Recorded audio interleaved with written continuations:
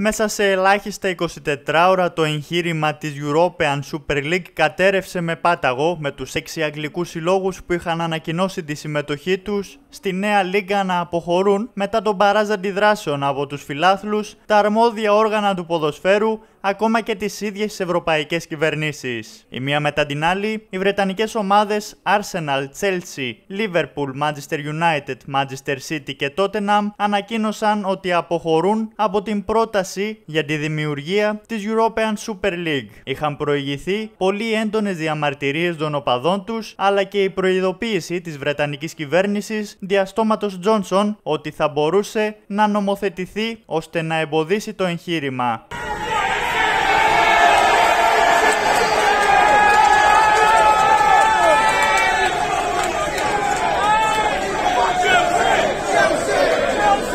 Οι επίσημες ανακοινώσεις των ομάδων Arsenal. Ακούσαμε εσάς και την ποδοσφαιρική κοινότητα και ως αποτέλεσμα αποφασίσαμε να αποσύρουμε την παρουσία μας από την προτινόμενη Super League. Κάναμε ένα λάθος και απολογούμαστε γι' αυτό. Liverpool. Η Liverpool επιβεβαιώνει ότι η εμπλοκή της σε προτινόμενα πλάνα για τη δημιουργία της European Super League έχει πλέον διακοπεί. Manchester United. Δεν θα συμμετάσχουμε στη European Super League. Τότε να μπορούμε να επιβεβαιώσουμε ότι επισήμως ξεκινήσαμε τις διαδικασίες για να αποσυρθούμε από το group που επεξεργάζεται προτάσεις για την European Super League. Chelsea. Μπορούμε να επιβεβαιώσουμε ότι ξεκίνησαν οι επίσημες διαδικασίες για την αποχώρηση από την ομάδα που αναπτύσσει τα σχέδια της European Super League. Manchester City. Η Manchester City Football Club μπορεί να επιβεβαιώσει ότι έχει επίσημα δρομολογήσει τις διαδικασίες για την απόσυρση από την ομάδα που αναπτύσσει τα σχέδια της European Super League. Η αποδεκατισμένη Super League σε